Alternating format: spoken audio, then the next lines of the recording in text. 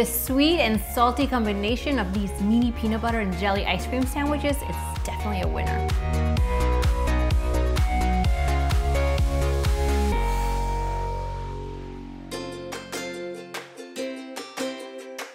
You're not gonna believe the crazy good combination we have going on with today's dessert recipe. I have Alex here already spreading peanut butter onto the classic round vanilla cookie. To bring you this fun recipe, I've teamed up with Edy's Slow Churned Simple Recipes Light Ice Cream, the makers of today's flavor for these mini sandwiches, strawberry ice cream.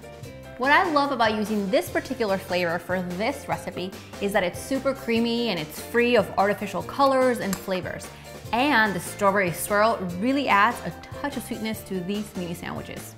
So now that Alex has finished spreading peanut butter onto all of the cookies, we're going to add a touch of jelly as well, but just to half of them.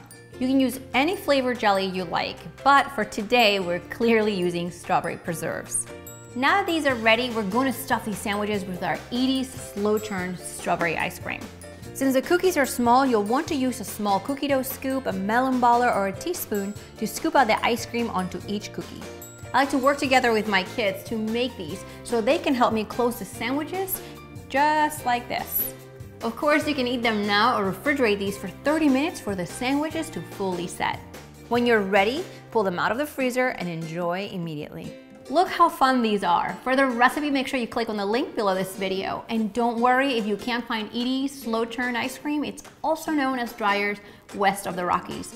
Visit Edy's.com or dreyers.com for inspiration on how to incorporate slow churn, simple recipes light ice cream into your family's favorite recipes.